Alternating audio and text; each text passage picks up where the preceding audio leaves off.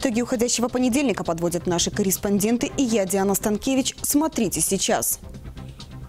Помощь медикам. Беларусьбанк передал врачам защитные средства и сертификат. Хочу выразить огромную благодарность. На что потратят деньги?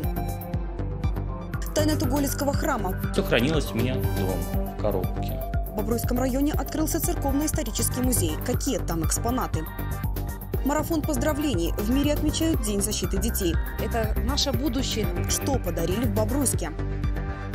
А также виртуальное лето, промышленное объединение и летние горки. В конце недели потеплеет до плюс 23.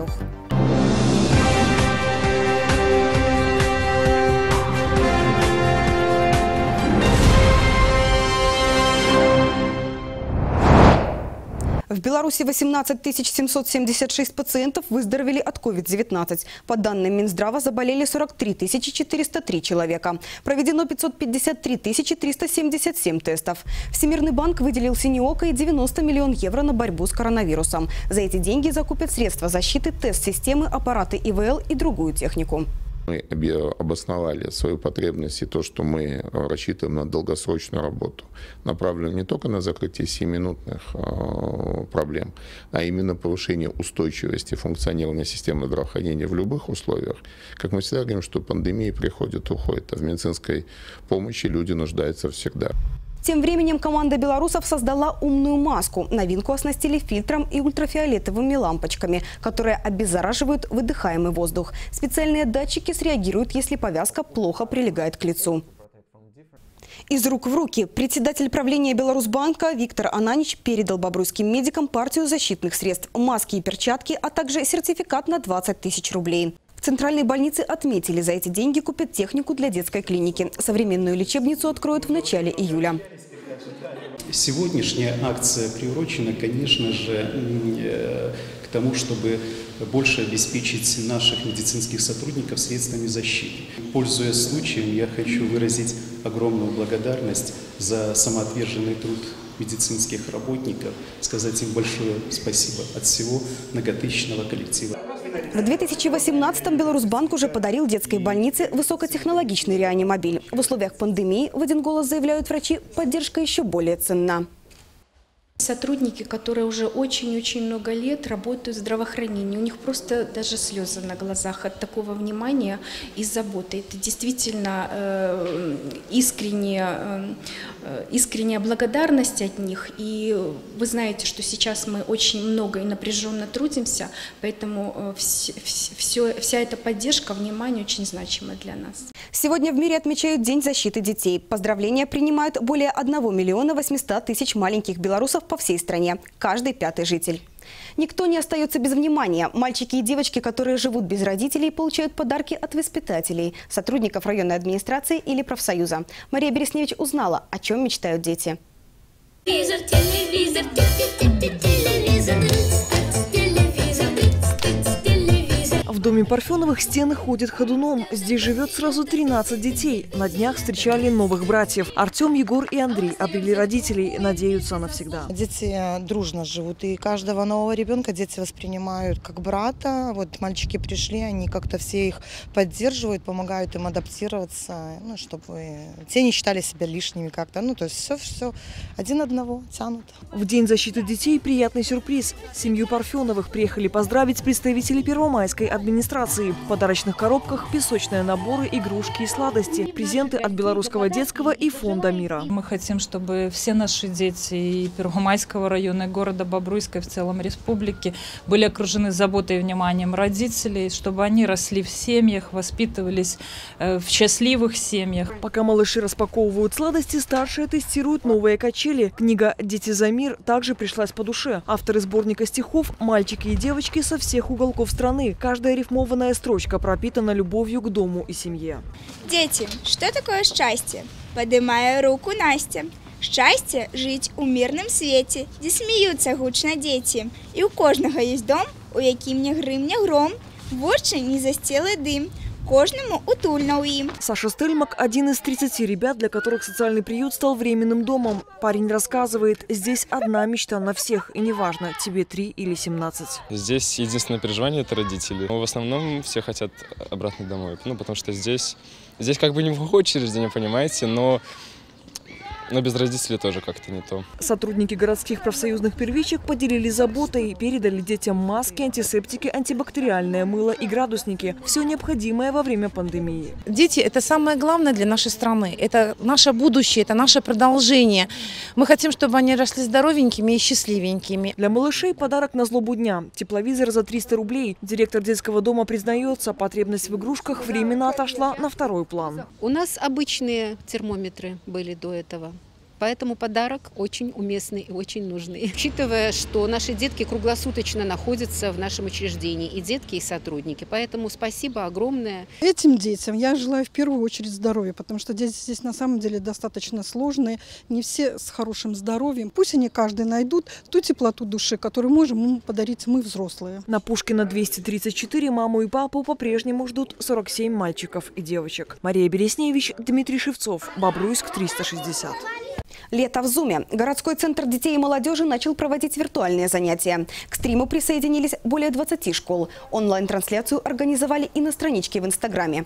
Первые уроки посвятили безопасности. Спасатели рассказывали, как действовать во время пожара. Впереди тинейджеров ждут мастер-классы по робототехнике, 3D-моделированию, тренинги по работе с IT-технологиями.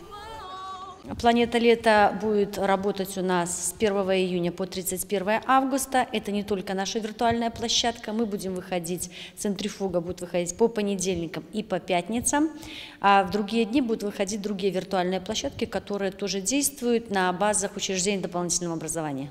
Новинки июня – электромобили без НДС и за парты по одному. В белорусских школах начались выпускные экзамены. Далее обзор самых обсуждаемых заголовков дня.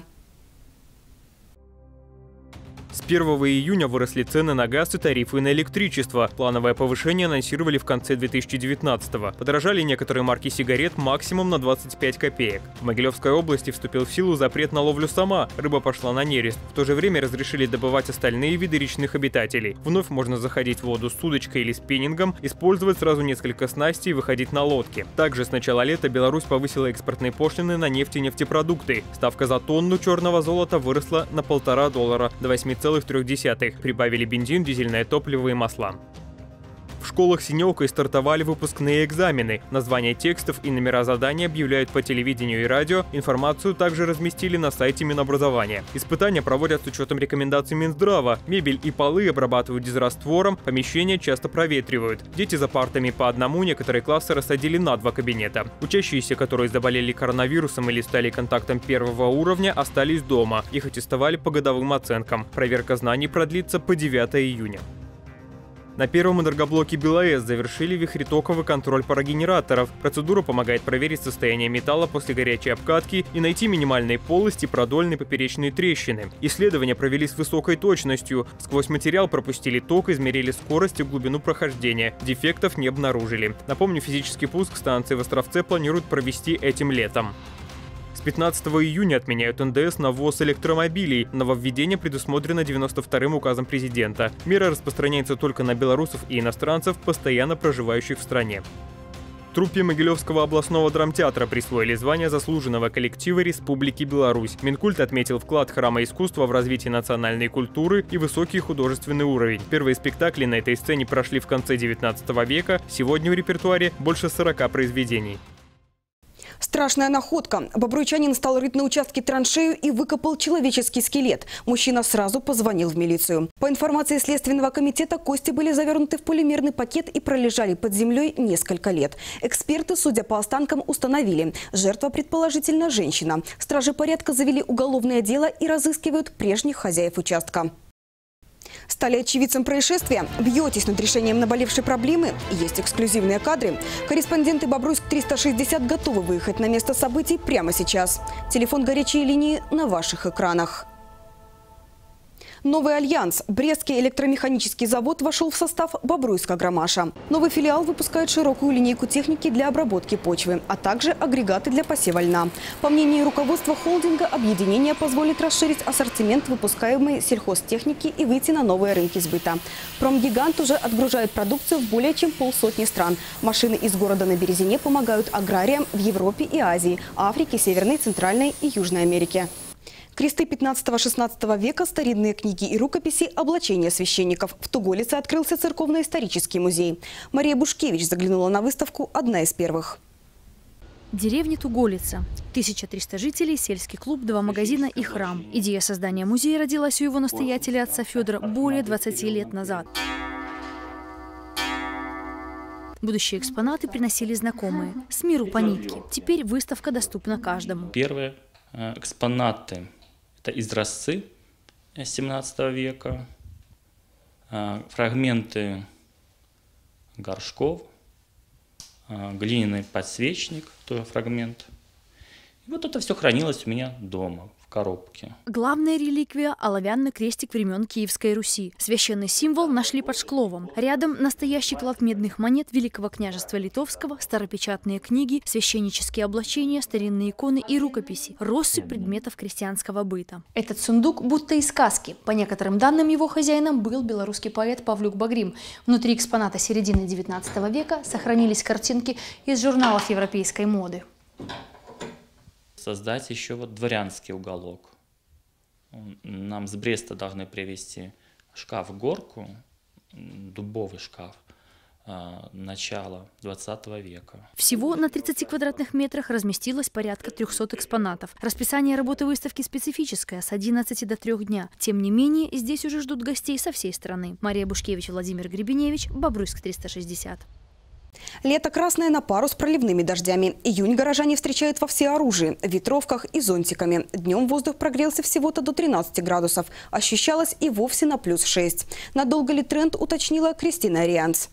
Неустойчивая погода сохранится в течение недели. Синоптики прогнозируют дожди и грозы. Однако к выходным потеплеет. В субботу уже будет около 23 градусов выше нуля. По предварительным данным, ждать от июня высоких температур не нужно. Поэтому не стоит стихийно скупать сланцы и сандалии. В пору придут легкие непромокаемые кроссовки.